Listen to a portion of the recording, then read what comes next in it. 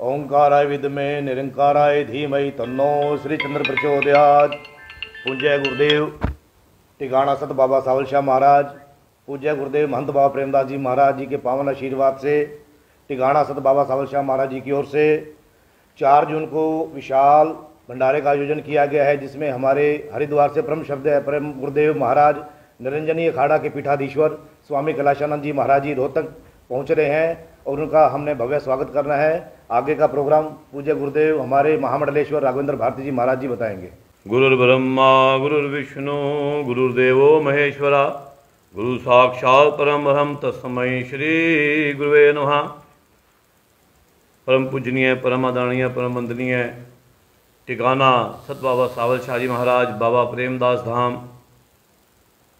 बड़े हर्षोल्लास के साथ टिकाना बाबा सावल शाह की ओर से, महंत बाबा पर- मदन शाह महाराज जी के आशीर्वाद से, हमारे निरंजनी पीठाधीश्वर, श्री श्री एक हज़ार आठ आचार्य महामृदेश्वर स्वामी कैलाशानंद गिरी जी महाराज रोहतक में पधार रहे हैं, जिनके साथ में देश के प्रमुख प्रमुख नेतागण, मंत्रीगण, प्रसिद्ध समाज सेवी और हमारे आश्रम के सभी भक्त, सब यहाँ पहुँच रहे हैं।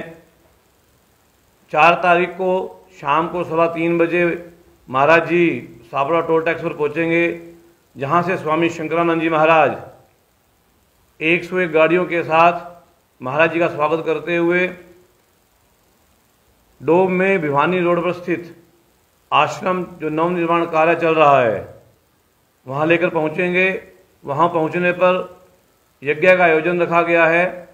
यज्ञ के आयोजन के बाद वहाँ से हमारी 300 भक्तों की ओर गाड़ियाँ जो महाराज जी को लेकर, सभी को लेकर वहाँ से चार बजे रवाना होंगी, जो मदनलाल ढिंगड़ा के अंदर पहुँचेंगी, जहाँ पर प्रेम, श्री प्रेम मंडल संकीर्तन द्वारा, श्री राधा रमन द्वारा और राधा नाम द्वारा सभी संकीर्तन मंडल होंगे, जिसमें भजन कीर्तन किया जाएगा। वहाँ पहुंचकर महाराज जी अपने आशीर्वाद वचन देंगे। सभी देश के प्रमुख प्रमुख नेतागण भी वहाँ पहुँच रहे हैं। मैं आश्रम की तरफ़ से सभी रोहतक वासियों को हरियाणा वासियों को और जहाँ जहाँ तक हमारे आश्रम से जुड़े हुए भगत हैं और सभी जनता को मैं निमंत्रण देना चाहता हूँ कि आप इस पुण्य के कार्य में पहुँचें। इस कार्य के अंदर बाबा मदन शाह जी, स्वामी आनंद जी महाराज, बाबा हरपाल दास जी महाराज, बाबा गौरव शाह जी महाराज एवं अनेकों संत इस कार्यक्रम में अपना आशीर्वाद दे रहे हैं और सभी संत जो हैं इस आ- समागम में पहुँचेंगे।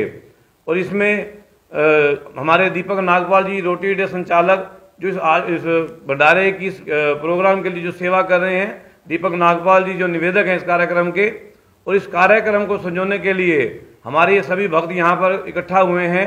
इन सभी भक्तों के सहयोग से भक्तों के प्यार से, भक्तों के भाव से इस कार्यक्रम को रखा गया है।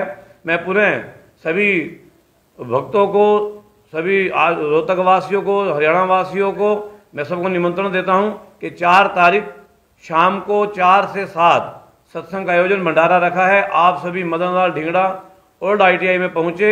आप सबका बहुत बहुत धन्यवाद। ओम नमो नारायण। स्वागत के लिए स्वामी शंकरानंद जी, सापला से सौ गाड़ियों के साथ बाईपास से जज्जर बाईपास होते हुए भाली चौक से नवनिर्माण आश्रम में पहुँचेंगे जहाँ यज्ञ होगा और यज्ञ के उपरांत हमारे वहाँ 300 गाड़ियों से फॉलोअर्स जो और रहेंगे 400 साढ़े चार सौ गाड़ियों के साथ शहर के अंदर से हम डोब भिवानी चुंगी होते हुए एलिवेटेड फ्लाईओवर से होते हुए अशोका होते हुए आईटीआई के अंदर मदनलाल ढिंगड़ा में ये काफिला पहुंचेगा जहाँ ज़ोर शोर से सभी रोहतकवासी आश्रम के सभी भक्त महाराज जी का और सभी यहाँ पहुँचने वाले अ, प्रमुख व्यक्तियों का तह दिल से और खूब उनका स्वागत करेंगे उनका वेलकम करेंगे।